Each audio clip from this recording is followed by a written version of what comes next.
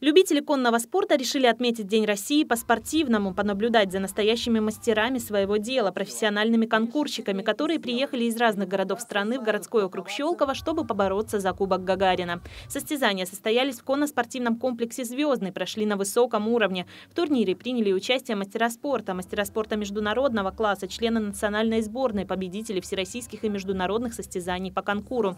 Участников и зрителей поприветствовали почетные гости. Министр спорта Московской области Роман Терюшков, представитель Федерации конного спорта России, руководители трех муниципалитетов, глава городского округа Щелково Андрей Булгаков, а также главы Лосино-Петровского и Звездного городка.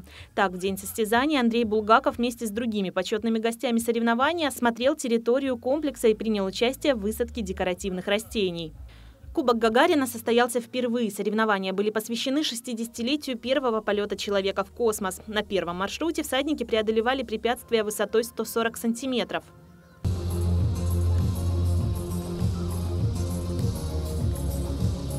Результате молодой спортсменке из Санкт-Петербурга, мастеру спорта и Ефирсовой удалось обойти всех соперников и даже более опытных конкурсчиков, в том числе своего наставника, члена сборной России по конному спорту, мастера спорта международного класса Вадима Череваня.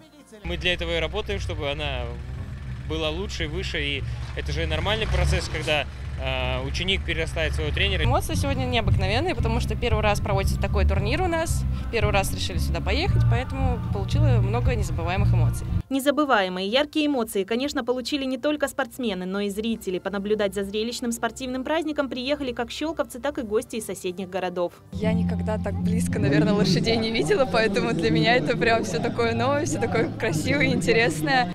Стоит отметить и то, что каждый, кто решил провести время в конно-спортивном комплексе в этот день, смог найти занятия по душе. Помимо спортивной программы, зрители могли посмотреть концерт, посетить ярмарку, а для самых юных гостей работали различные интерактивные зоны. Анна Бальет, Игорь Поляков, Щелковское телевидение.